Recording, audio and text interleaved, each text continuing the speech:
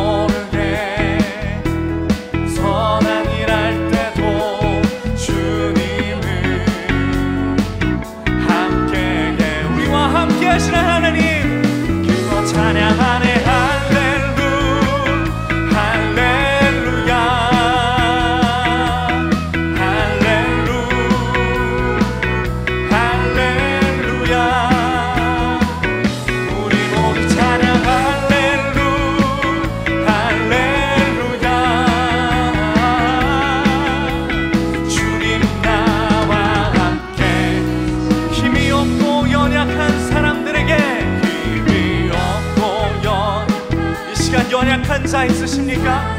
그런 무너진 마음이 있으십니까? 우리 주님이 함께 하신다 하십니다. 세상 모든 형제와 열방의 자매들에게 들에게 주님을